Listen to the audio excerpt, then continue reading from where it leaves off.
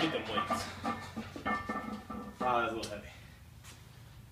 275, front squats after some heavy pulls the next time Baylo out.